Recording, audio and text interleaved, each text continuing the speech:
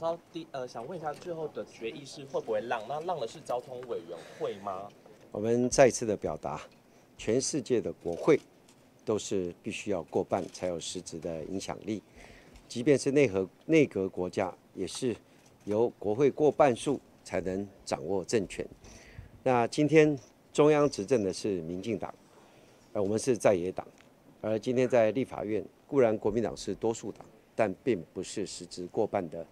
这样的一个绝对的一个啊的啊绝对的一个能够主宰啊立法院的啊过半数的大党，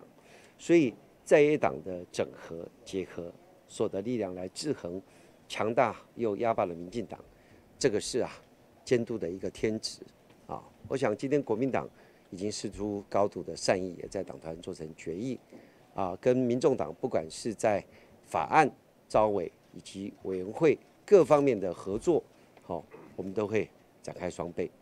那民众党非常的客气，不断的表达良善的法案，大家一起来推，好、也有高度的诚意，大家来合作。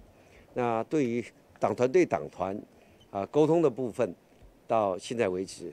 啊，民众党团啊非常的客气，并没有提出任何委员会招委的人选，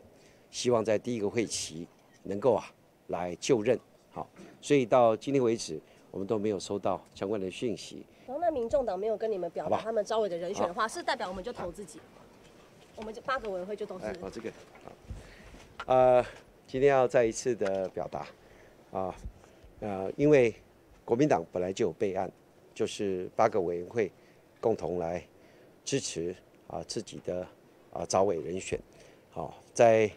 呃意在的这样的双方都有善意，但是民众党非常客气，并没有推啊透过党团对党团这个直接来推举人选。我想在这个会期，我们可以合作的方式也非常的多。我们会在法案以及委员会以及各个方方面面，我们双方啊还是会紧密的合作。啊，我想我们会持续的把合作的路走下去。好，也希望大家给我们更多支持的力量，让我们一起来制衡监督民进党这个执政党，让台湾呐、能够开大门走大路。